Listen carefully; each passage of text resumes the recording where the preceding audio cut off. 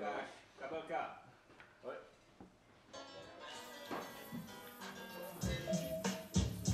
Oh yeah.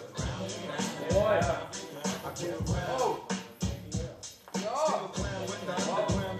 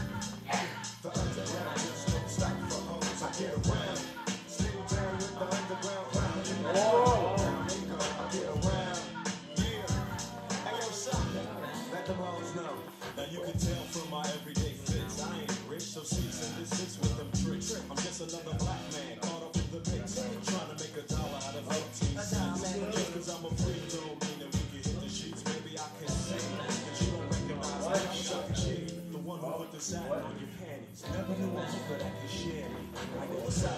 How you doing? Well, I've been hanging, singing, trying to do my thing.